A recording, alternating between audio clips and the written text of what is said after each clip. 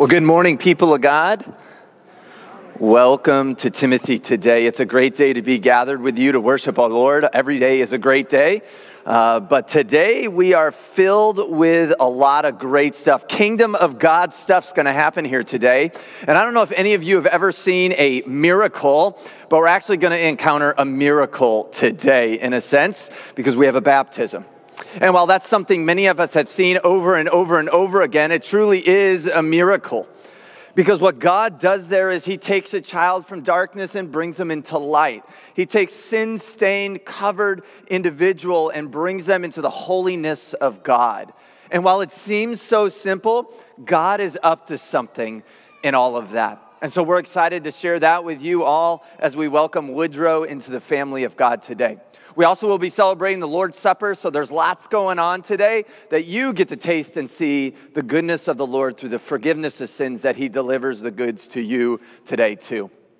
My name is Pastor Ryan. I'm one of the pastors here at Timothy, and it's good to be able to lead you in worship today. I'm thankful for that. I'm thankful for all these folks up here, too, doing the same, and those back there that make this time together possible. So I pray that you are blessed as we worship. Uh, Pastor John will be up a little while later to bring the message to us today, the sermon. And we continue in this unraveled series. In this series, we are kind of looking at how God uses certain circumstances and experiences in our life that seem to unravel us, but God uses them, shapes them, and transforms us through them. And so today we look at the life of Zacchaeus, a wealthy man who had everything kind of going for him, and then Jesus steps into the picture and says, Hey, let's go out to lunch. And Zacchaeus' life quickly unravels as the Lord rebuilds him and encourages him and shapes him and transforms him and sends him out. So we'll be hearing a little bit more about that later today. Uh, you also could have got one of these. There's some in the back of your chairs as well. Uh, this is to let us know that you are here. These are our communication cards. These are helpful for us and important for us uh, to at least let us know you were here. Um, even if you've been here and you're like, they should know I'm here. We should, but we don't always. Um, and so let us know you're here to worship with us, whether you're a visitor, a guest, or a longtime member. We'd love that. And on the back, whether you're a visitor, a guest, or a longtime member, we'd love to join you in prayer. Whether that's asking a pastor to call you, whether that's being put on the prayer chain, or whether that's something you want in the service please write your prayers on here as you desire, and, um, and we'll add those to our prayers. If you want it, this is the big thing. If you want it during the service, the prayer, whatever you're asking for, um, keep this. And during the offering, I'll come by and then hold this up for me, and I'll grab it, and we'll make sure those prayers get into the service. So I think that's all we have here this morning to get us going. We got a lot going today, like I said. So, what I'm going to do before we begin with our opening song, we'll do that in just a moment. I want to invite you just to please rise and you can greet those around you. You don't have to walk around. I know we're still in that weird season, but say hello to those around you and then we will begin. You can remain standing as we begin with our opening hymn.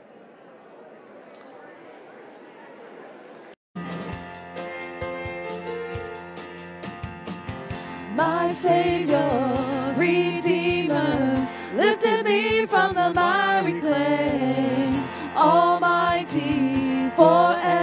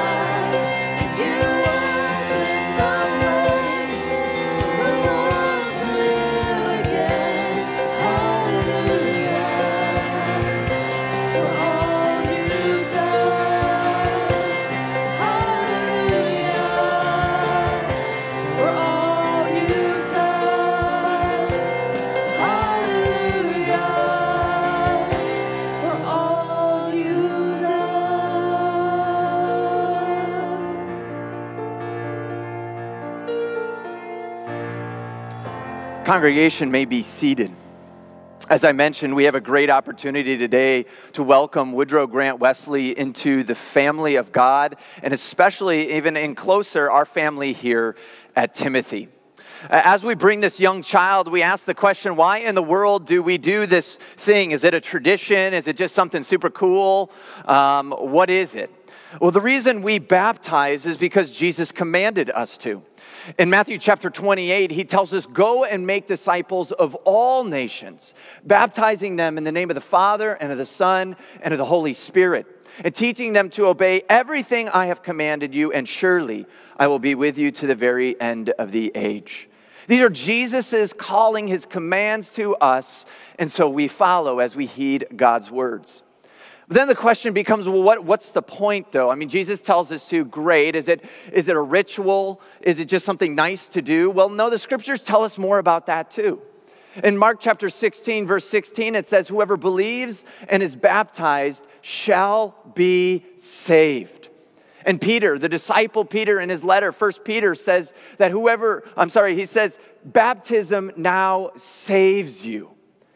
And so this isn't just something we do. God is doing something miraculous here. As the water hits your head, or as it hits, as we'll see today, Woodrow's head, um, God is up to something miraculous. And so we give thanks for that today.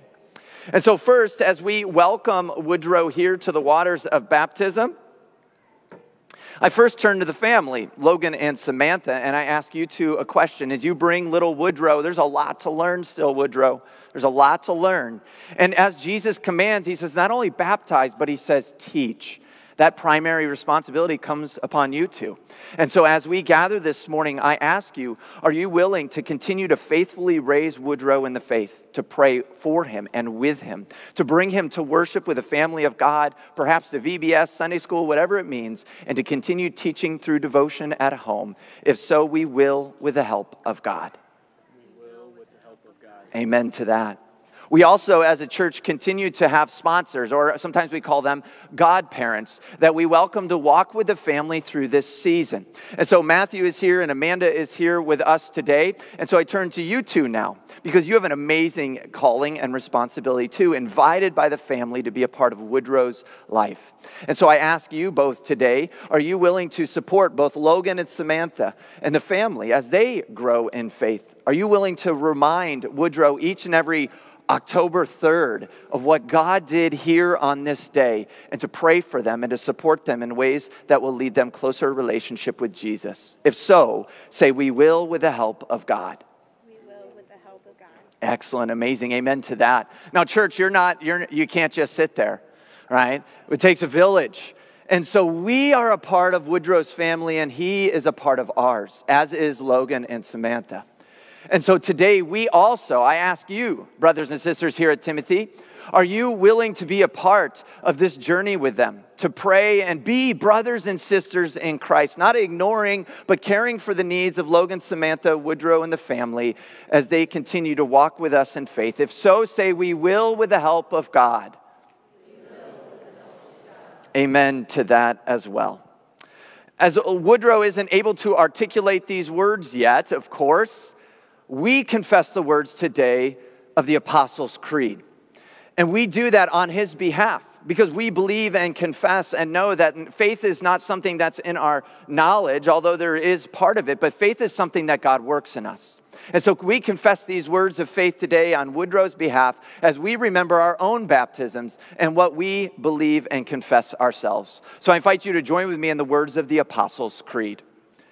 I believe in God the Father Almighty, maker of heaven and earth, and in Jesus Christ, his only Son, our Lord, who was conceived by the Holy Spirit, born of the Virgin Mary, suffered under Pontius Pilate, was crucified, died, and was buried. He descended into hell. The third day he rose again from the dead. He ascended into heaven and sits at the right hand of God the Father Almighty. From thence he shall come to judge the living and the dead. I believe in the Holy Spirit, the holy Christian church, the communion of saints, the forgiveness of sins, the resurrection of the body, and the life everlasting. Amen. All right, you ready, Woodrow? Yes, he's ready. He told me. We're good. How is this child to be named? Woodrow Grant Wesley. Woodrow Grant Wesley, I baptize you in the name of the Father, ooh, of the Son, and of the Holy Spirit. Amen. Like a champ. All right. All right, you can. I'm going to give this to you. Now, this rag is, is a reminder. It's not just a rag, it's a cloth. And one of the things the church used to do in its history, it was it would take a white garment and wrap it over the newly baptized. And that's a reminder to us that God has clothed Woodrow in righteousness. And so, this little napkin, this little um, towel, whatever you want to call it, is a reminder to you both and to Woodrow that he has been wrapped in Christ's righteousness and he's already wearing the white day. The other thing that I like to do at baptism is, is I like to anoint our children or adults with anointing oil. In the scriptures, the Lord uses anointing oil to symbolize his chosen. And that's exactly what happens here at baptism. And so, Woodrow, I anoint you, mark the sign of the cross both upon your forehead and upon your heart because you are one redeemed by God. Amen to that. And now I invite our elder forward on behalf of the congregation to welcome Woodrow into the family of God here at Timothy. As a member of the Board of Elders, I invite you to join me in welcoming Woodrow Grant Wesley into the Lord's family. We welcome you into the Lord's family. We receive you as a fellow member of the body of Christ to work with us in his kingdom. Well, may the Lord bless you in all your ways, now and forever. The peace of the Lord go with you. Amen. Let me pray for this family and we'll let them sit back down. Heavenly Father, we thank you for the gift of baptism, and just this simple water can do extraordinary, miraculous things. We praise you for the work you've done in all of our lives, but we can't wait to see how that will unfold in Woodrow's life. Be with the family, the sponsors, and this church as we continue to grow in faith as you work in and through us. In Jesus' name, amen. All right, I'll invite you all to make your way carefully down those steps. We can, we can applaud. It's okay. We thank God for what He's doing.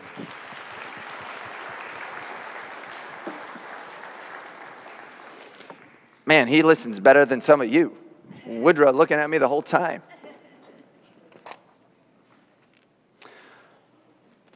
With that, we enter into a time of scripture this morning. Our opening scripture, our first scripture for today, is from James chapter 5, verses 1 through 6. Now, listen, you rich people, weep and wail because of the misery that is coming on you. Your wealth has rotted, the moths have eaten your clothes. Your gold and silver are corroded. Their corrosion will testify against you and eat your flesh like fire. You have hoarded wealth in these last days. Look, the wages you failed to pay the workers you who mowed your fields are crying out against you. The cries of the harvesters have reached the ears of the Almighty. You have lived on earth in luxury and self indulgence. You have fattened yourselves in the day of slaughter. You have condemned and murdered the innocent one who was not opposing you.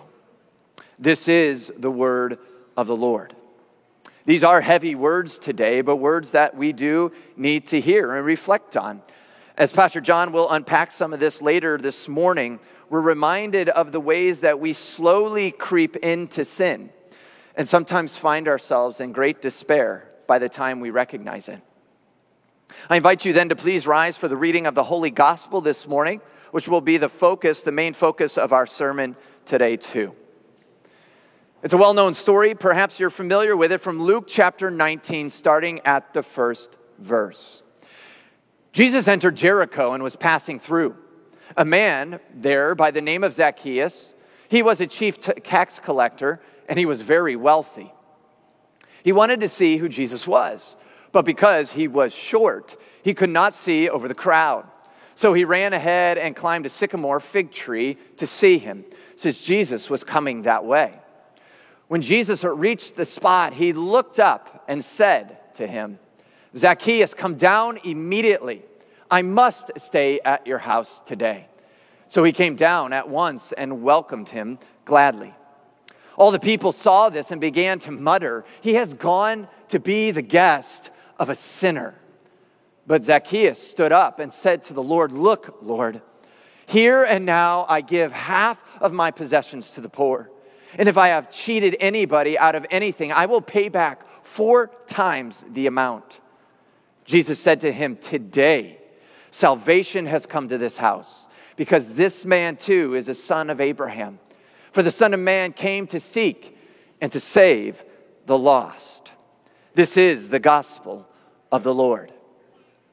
Perhaps this morning you've been reminded of your sin. Perhaps hearing these words, you're invited to, to consider the ways in which you have fallen short and maybe taken wealth and said, you know, I've earned this, this is mine, I can do with it whatever I want. Or maybe it's something else. So today we take a moment to stop and simply come before our Lord seeking that forgiveness. That forgiveness that He brought to us through the waters of baptism, that forgiveness that He'll give to us here through the bread and his body through the wine and his blood. And so we take a moment to confess our sins this morning together. So let us come to our God and Father to find forgiveness in what Jesus has done for us. God, we confess that we have not lived the lives you want us to. We have lived for ourselves and acted like we are the masters of our own lives unravel our sinful selfishness and help us to live our lives only for you. In Jesus' name we ask it. Amen. Here's the beautiful thing about the work of our God. Not only does He know our sin before we even speak it, but Scripture tells us that He is faithful to forgive us. And so, hear these words today God loves you. And because of that incredible, unending love, he sent Jesus to die and rise for the forgiveness of your sins. Because Jesus has done that for you, it is my great joy to tell you today that your sins are forgiven in the name of the Father and of the Son and of the Holy Spirit. Amen and amen. We join together celebrating that good news as we join together in song.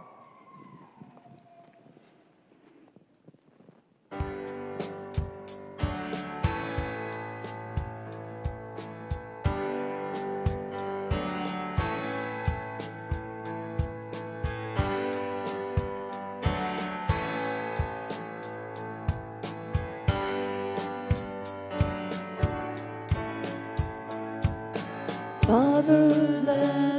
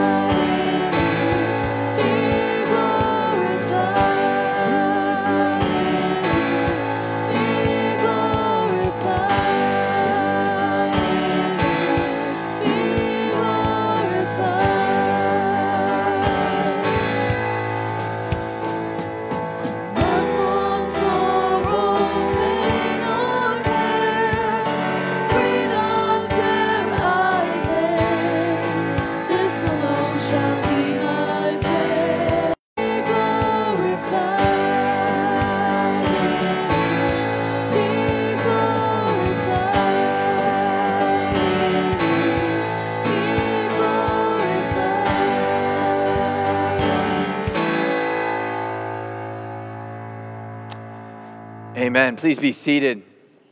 What a beautiful song of, of really a prayer that our lives indeed would glorify God in all that we do.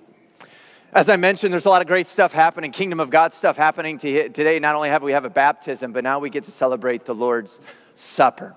As we gather as a church, we confess those words, as you heard earlier, of the Apostles' Creed, the Nicene Creed, and who this God is that we're worshiping and gathering around today. He is triune Father, Son, and Spirit, creator, Savior, and sanctifier of our lives. And so, as you come and join us today, we ask these questions. As the scriptures call us to prepare with this faith that we confess, to prepare ourselves to receive this gift. And so I ask you these four questions this morning to invite you to just do that. Examine yourself. Are, are you in a place where you can come and receive this gift as a fellow, fellowship of the body of Christ with us today? I invite you as I read these questions to answer with yes if, if you believe and join us in this confession. Do you acknowledge that you are a sinner? Do you believe that Jesus is your personal Savior? Do you recognize the true body and blood of Jesus present in with the bread and wine given and shed for you? And do you believe that through this meal, God will strengthen your faith to amend your life? Yes. If you join this in the confession of the triune God and, and answered yes to these four questions, we welcome you to join with us in this meal as the Lord gathers us. If that's not where you're at right now, if you're still not sure about all of this, that's okay. We're so glad you're here to worship, to hear God's word, and to hear that God's forgiveness is extended indeed to you as well. You can always follow up and come ask me or Pastor John or Pastor Rod questions. We could talk more about this if you'd like. With that, we join together in the words of institution.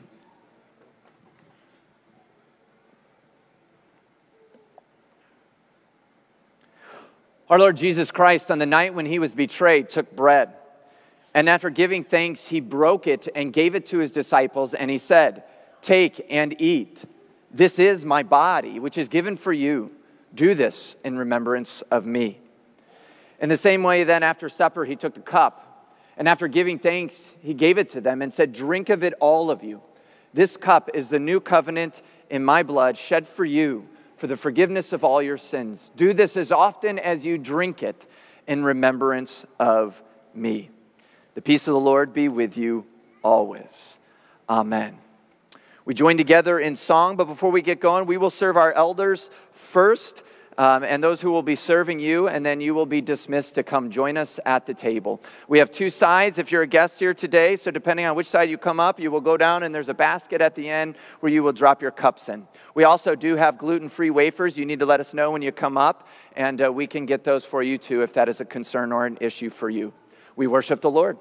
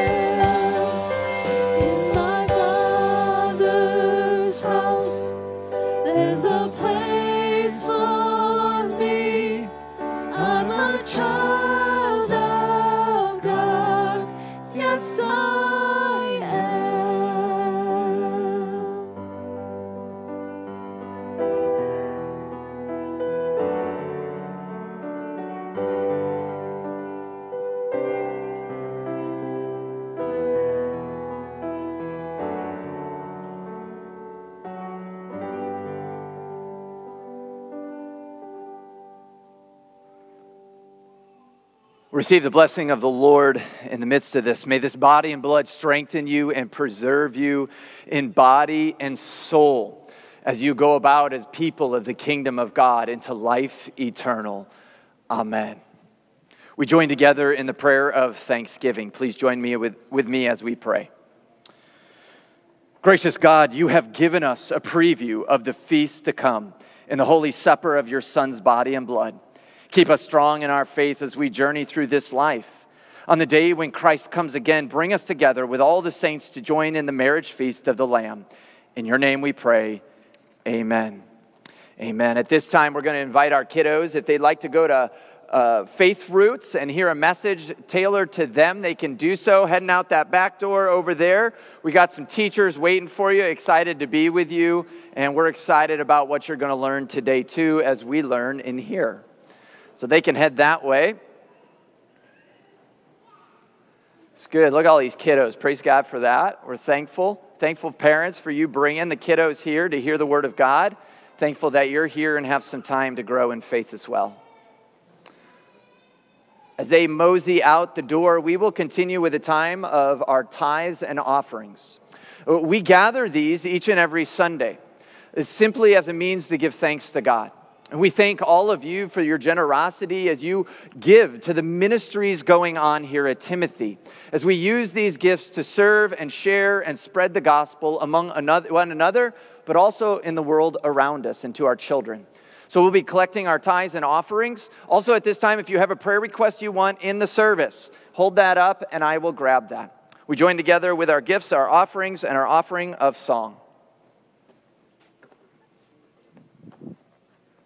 Let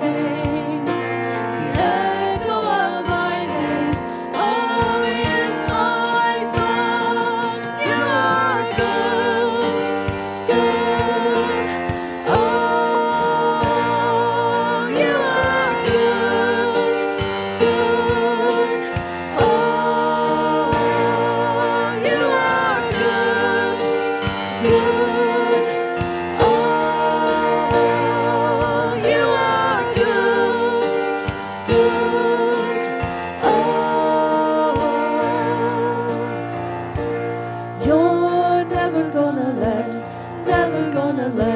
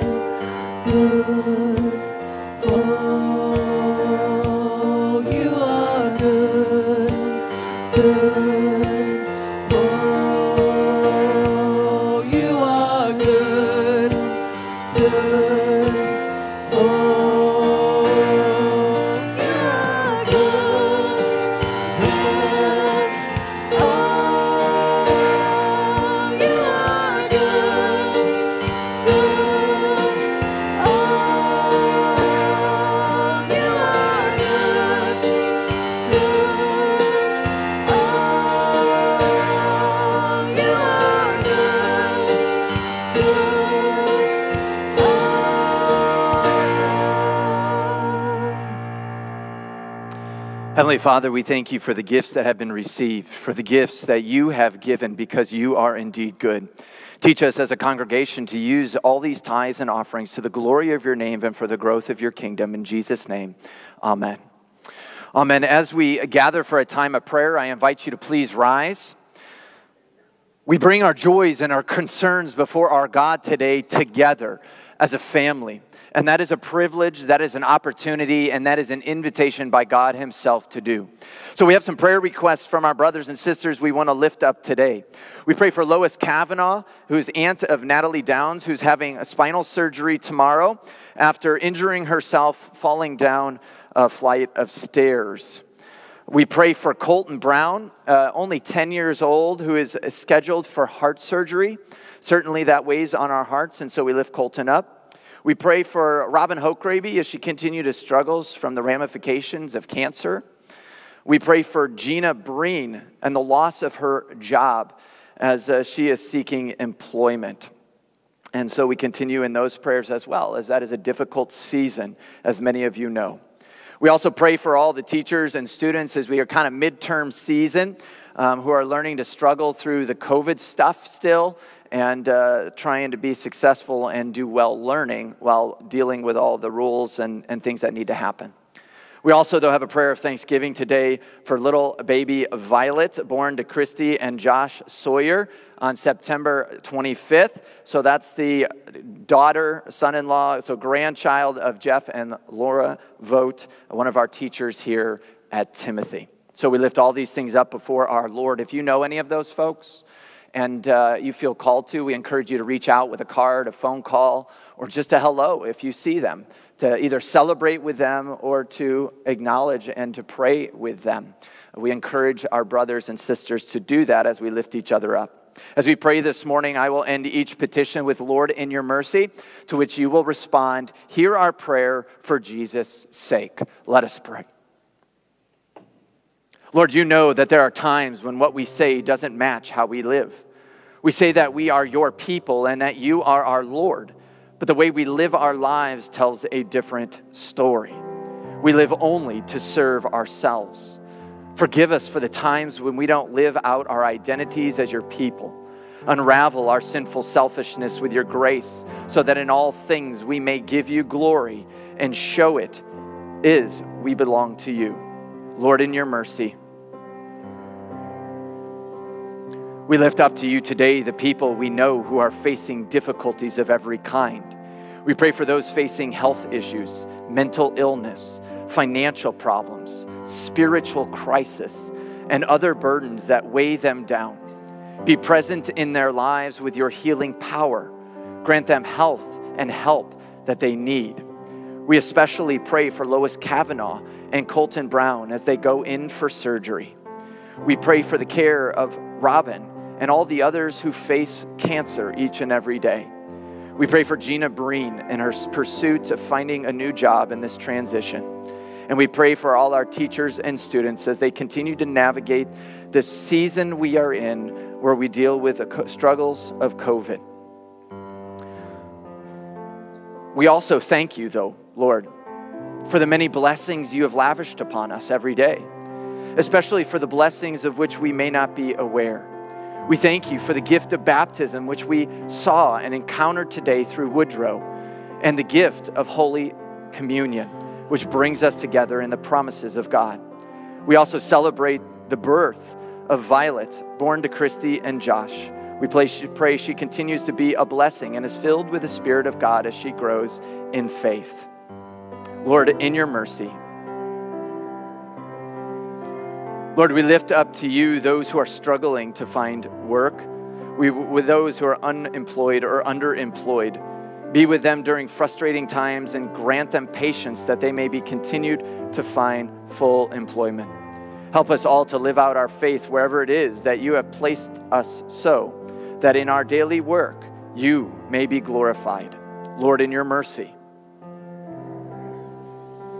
We lift up Timothy to you, Lord, especially those who serve in our worship services, whether elders, ushers, musicians, sound techs, or whomever serves. We thank you for their service that we may gather together and be fed by your word and sacraments. Grant them joy in their service and continue to raise up people among us who have a passion for helping with our worship, so that many may hear the wonderful things that you have done for us and for all the people through your Son. Lord, in your mercy. All these things we bring to the throne of grace, confident that you not only hear our prayers, but answer them in a way that you know is best. Fill us with faith so that we may trust your will in every part of our lives. Remember us in your kingdom and teach us what it means to pray. Our Father, who art in heaven, hallowed be thy name. Thy kingdom come, thy will be done, on earth as it is in heaven. Give us this day our daily bread, and forgive us our trespasses as we forgive those who trespass against us. Lead us not into temptation, but deliver us from evil. For thine is the kingdom, and the power, and the glory forever and ever. Amen. Amen. Welcome, Pastor John. Well, hello, Pastor Ryan. Please be seated. Grace, mercy, and peace be unto you from God our Father and from our Lord and Savior Jesus Christ. Amen. So, in John Grisham's best selling novel, The Firm, which I'm bringing up because I like to be relevant and current in my illustrations that I do, 30 year old book qualifies, right?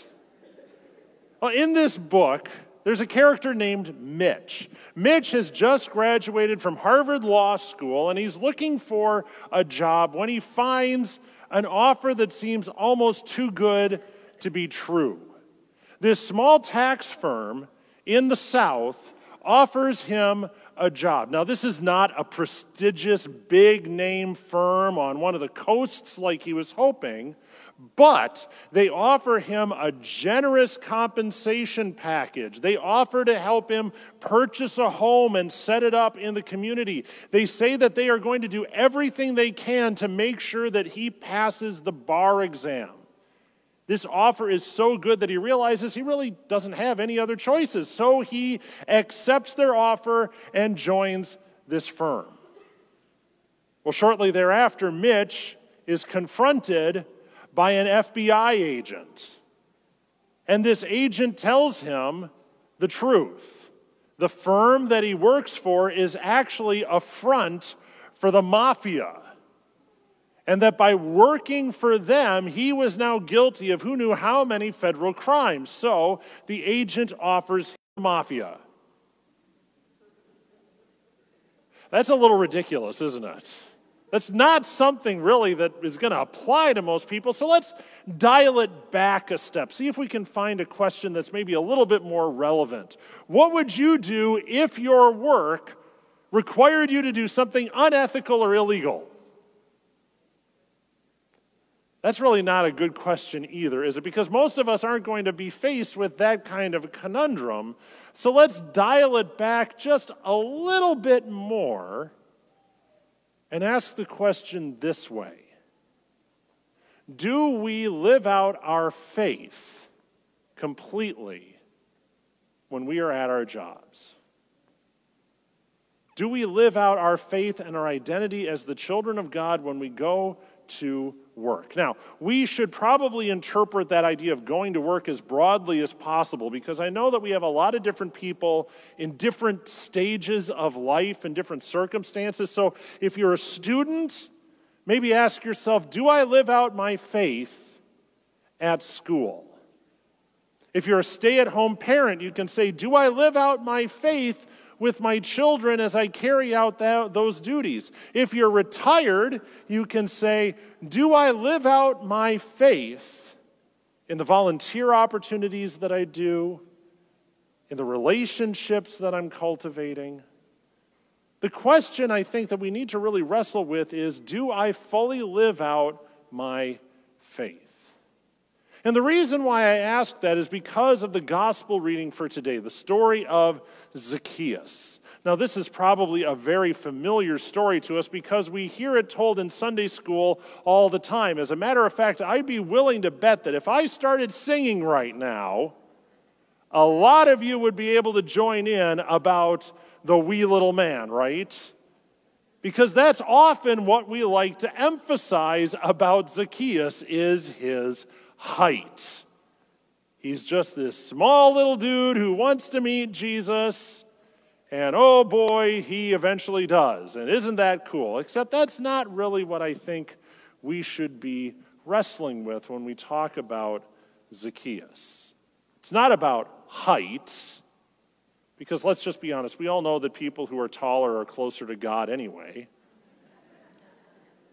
No, that's not the point. Instead, we have to wonder about who it is that Zacchaeus actually serves. That's the question that is at the heart of the story of Zacchaeus. Because here's the thing everything we need to know about Zacchaeus, who he is and what he does, is summed up in one verse. And that's this one right here, where Luke introduces us to the wee little man. He says that a man was there in Jericho where Jesus is traveling through by the name of Zacchaeus. He was what? A chief tax collector and was wealthy. Believe it or not, this tells us everything we need to know about Zacchaeus. And the reason why I say that has to do with how the Romans collected taxes. Now, we're not going to get into the nitty gritty details because I know the Chiefs play in about an hour, and you want to get home to make sure you can see it. I'll just say this the Roman tax collection system was ripe for abuse. If an unscrupulous individual became a tax collector, they could use the Roman system to enrich themselves to a ridiculous degree. If you didn't mind doing a little lying, if you didn't mind doing a little stealing, a little cheating, you could rake in the dough and keep the money for yourself. The Romans didn't care. So now think about what Luke tells us about Zacchaeus here. Zacchaeus isn't just a tax collector, he's what? Chief tax collector. He's the boss. He's so good at his job that he's been promoted to the top. And he's what? Wealthy. Back then, if you were an honest tax collector, you couldn't get rich. But if you're a crook, if you're a thief, if you're a liar, oh yeah, you could make bank. It's what the kids say, right? I don't know. It doesn't matter. You get the idea. We may like to talk about how Zacchaeus was this wee little man, but when I sing that song, I change the lyrics just a little bit. I try not to throw people off. But instead of saying that he's a wee little man, I talk about how he was a mean little man.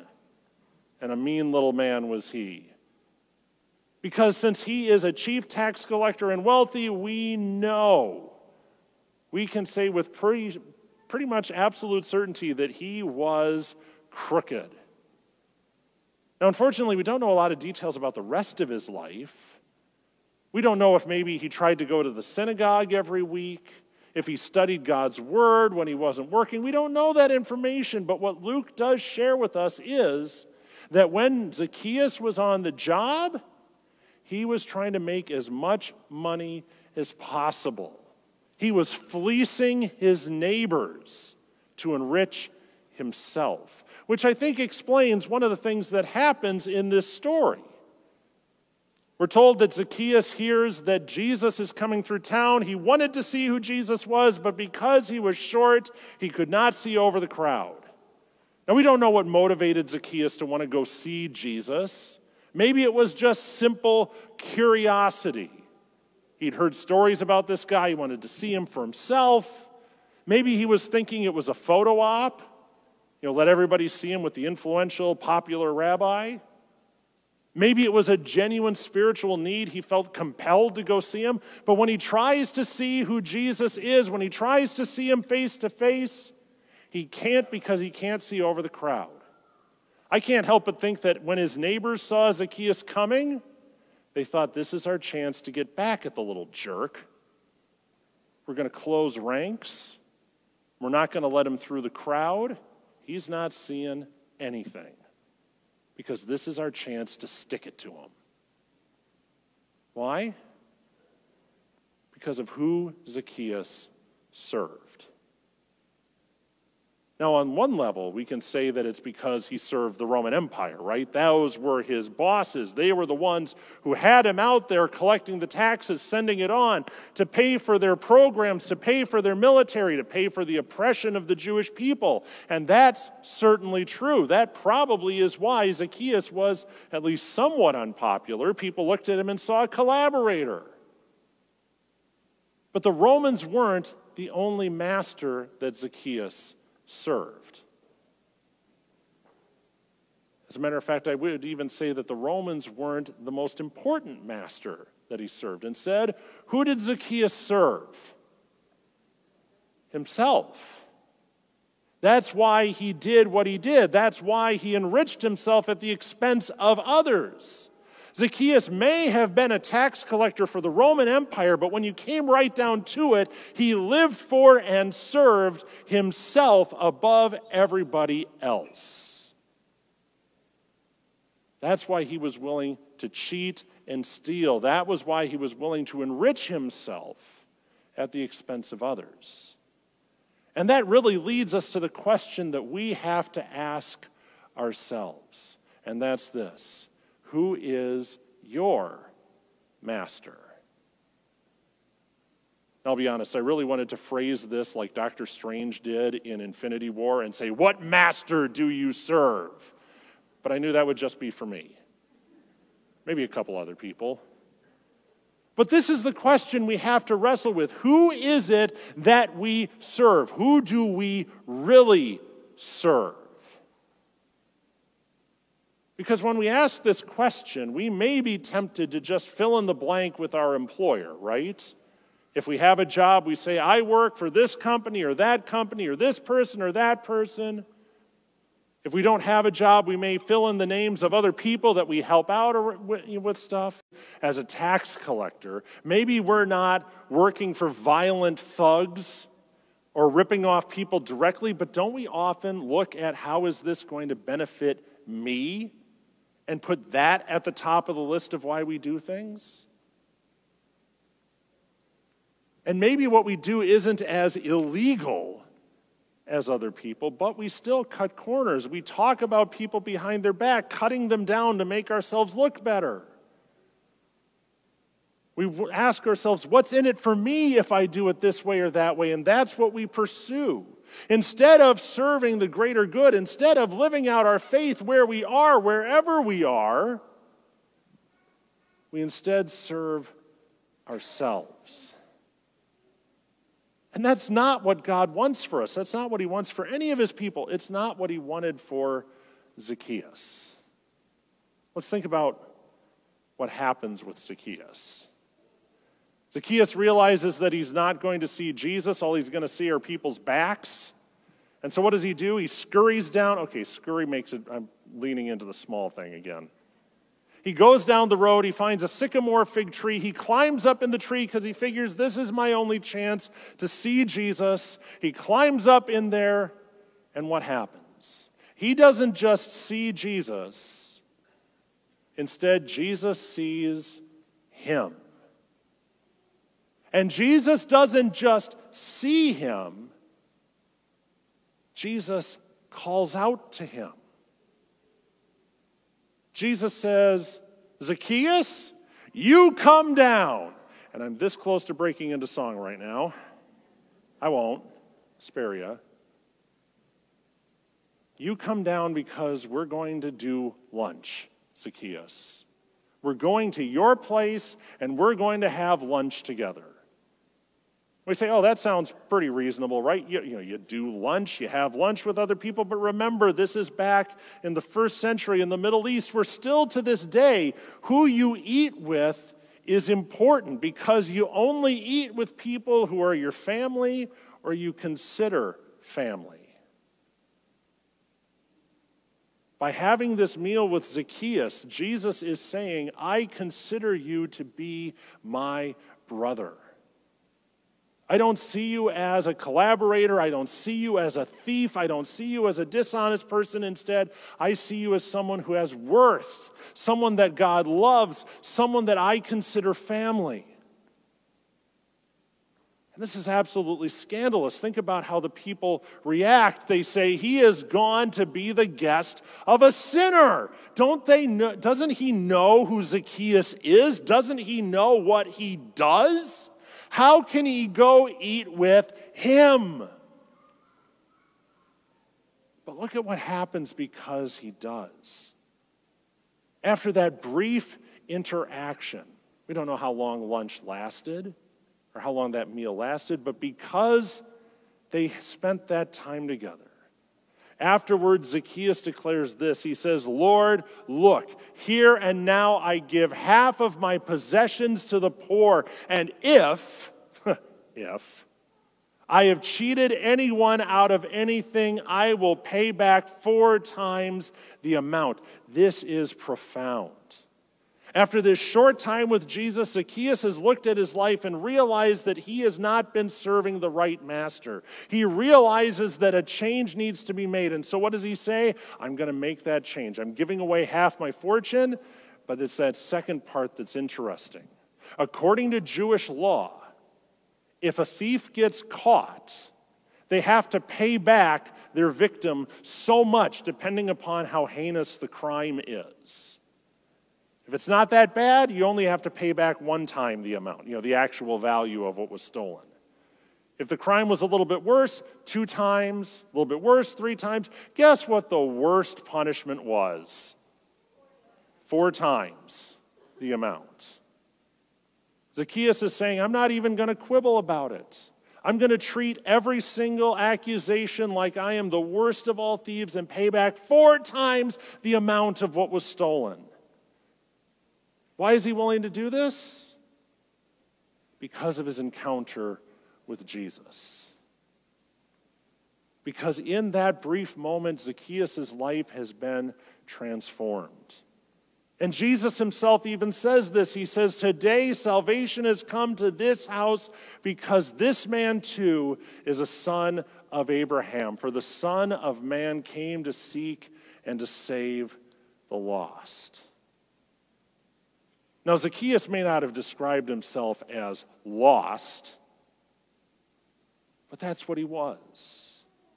Lost in his own sinfulness, lost to his own greed, lost to himself, lost to sin. And yet Jesus pulls him out of that and redeems him and restores him and says, You too are a child of Abraham, Zacchaeus. You too are someone that God loves and redeems through me. And He does that for us as well. He sends Jesus to seek and to save what is lost. And we may not like to think of ourselves that way. As a matter of fact, a lot of American Christians don't because who do we like to say that we found? Jesus, right? I found Jesus. And my snarky Lutheran answer is usually, I didn't know he was lost. I didn't know he was missing. Is that the way that Jesus is talking here? Like we need to find him? No. He is the one who comes to seek and to save what is lost. Who's lost? We are. Lost in sin, lost in selfishness, serving the wrong master, trying to serve ourselves. But Jesus, through his death and resurrection, reclaims us and says, You are now my children, made that way through what I did on the cross. And just like Zacchaeus, he even does it through a meal. The meal that we shared this morning, Jesus' body and blood given and shed for us for the redemption of our souls, saving us and reclaiming us to be his people. We are no longer lost, but we are found. We are his children once again. I love this story of Zacchaeus because if you think about it, it's a great example of Timothy's new motto, right? What's Timothy's new motto? Motto? Transforming lives through Christ. And that is what happens to Zacchaeus. His life is transformed, and we see the fruits of that transformation through what he does. But that just begs a question, doesn't it? Because we're not necessarily talking about Timothy's motto these past few weeks. What have we been talking about? Unraveled. What gets unraveled in Zacchaeus' story? I mean, we think about, you know, Rizpah or Sarah or Job or Paul and what unravels for them, but what unravels for Zacchaeus? And I'll be honest with you, I couldn't figure this out at first. That's why when we were planning this series, my original title for this sermon was Zacchaeus' Invitation because I was cheating. I wasn't sure. And so I just wrote that down because I had to write down something.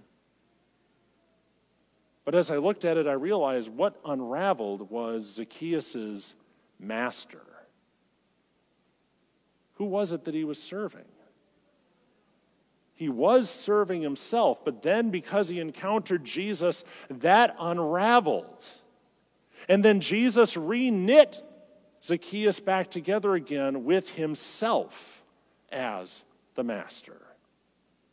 So that when Zacchaeus went back to work, he was serving him. Because this is the interesting thing. Did you notice the two words that were missing from Zacchaeus' speech? I know that's kind of a dirty question to ask. As how do you notice something that somebody didn't say? There's a lot of stuff he didn't say. But the two words that I noticed that were missing from his speech were these two words I quit. Zacchaeus doesn't say anything about leaving his job as a tax collector. It doesn't say anything about him leaving not looking to serve myself, not looking to enrich myself, but to serve my neighbor so I can say that I am serving God. And why do I say that? Because that is what God does for us now. He unravels that same master in us and reknits himself into the center so that we serve him wherever it is that he places us. See, that's the thing. As Lutherans, we don't say, that when you become a Christian, you have to leave your job and become a pastor or a nun or a missionary or anything like that. If you want to, cool, talk to me after the worship service. We can figure that out. But you don't have to do that. Instead, God calls you to serve wherever it is He has placed you, living out your faith wherever it is. And what does that look like? Well, Whenever I encounter this question, I always think of a quote from Martin Luther Imagine that. But this is a favorite of mine. He said this The Christian shoemaker does his duty not by putting little crosses on the shoes, but by making good shoes, because God is interested in good craftsmanship. What does that mean? Wherever it is God has placed you, you serve Him best by doing your best. By doing your duty to whoever it is you're serving, it's the to the best of your ability, understanding that by doing that, you are serving Him wherever He has placed you. We serve Him by showing love and compassion to those in our lives, wherever that takes us. We serve God and serve our new Master, Jesus, by living out our faith in every aspect of our lives. See, that's what we can learn from Zacchaeus, the mean little man. And a mean little man was he.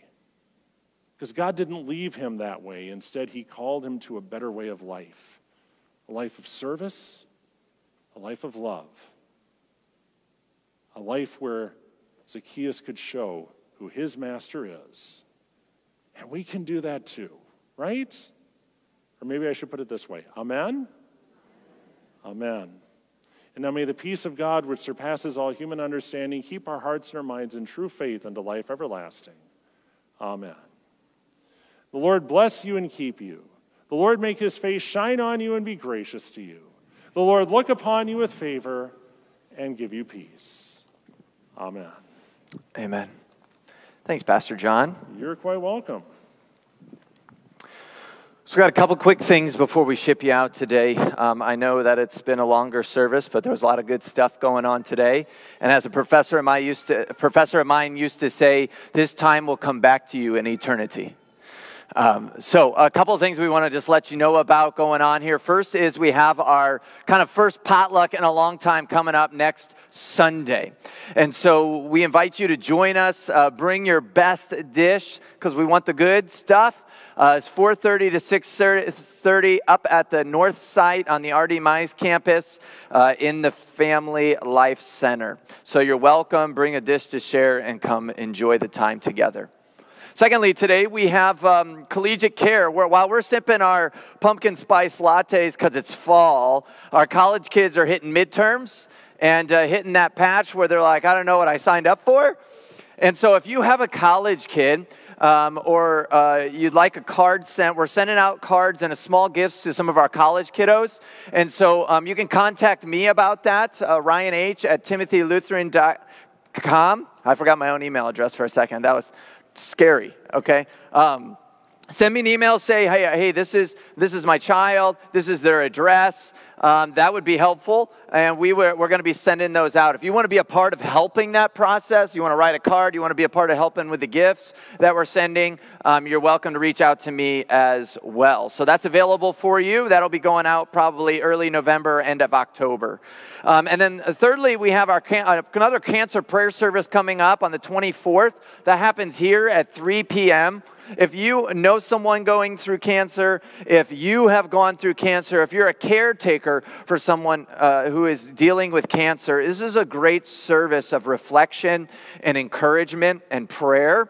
Uh, Pastor Rod leads these, and so we encourage you. You can welcome others, bring, bring family, bring friends to enjoy that time, but also grieve in that time and to also celebrate the promises of God in that time. So we welcome you to take part of that here at this, cancer, uh, this campus uh, as we continue that, that uh, somewhat tradition of having those cancer services every so often. Um, Anna and Norman Bannister will be sharing their faith, so they have a speaker coming, and Norm's battle with cancer. Uh, so that's going on here too. Lastly, we have a new app that's coming out soon. You're going to hear more about this. I'm just going to play the video to save time. Um, so hit it. Hey, everybody. You know, when I first moved to Blue Springs, I did not have a smartphone. Uh, I just had a flip phone. I figured that would be good enough for me. I didn't really see the point, but I was told I better get one when I moved here, and now I can't imagine my life without this. I mean, this phone does everything for me. I mean, I can send emails, I can go shopping, I can check my bank balance, I can watch a movie, I can read books, I can even open my garage door from here. Check this out. But there's other things I can do on here also. I have a Bible on here, I have prayer apps on here, I have stuff that helps me be a better pastor on here, and pretty soon you're going to have the opportunity to have a special app on your phone as well. It's called Ministry One. And this thing is going to be so cool. It will allow you to look up other members, like their phone numbers or addresses. You'll be able to check the church calendar to see what's going on at any given time. You'll be able to fill out forms, even watch worship services right there on your phone. Now, over the next couple of weeks, you're going to be seeing more videos about this to explain how you get signed up and how this is all going to work. So keep watching and pay attention because before you know somebody's actually somebody was actually calling me on my phone. Who does that in 2021? Send a text for crying out loud. I better see who this was, but keep watching for Ministry One. All right, so that app's coming out. There'll be more information to come, so keep keep your ear to the ground for that. Lastly, let's go out with the joy of the Lord as we sing together. I invite you to please rise as we go out with our closing song today. God's blessings on your day.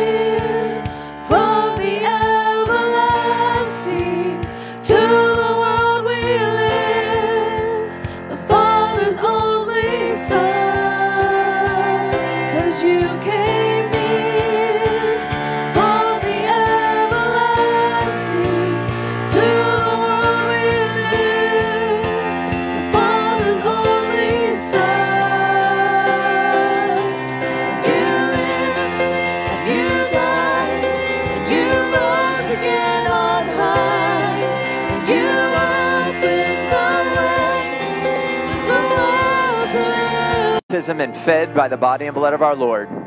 God's blessings.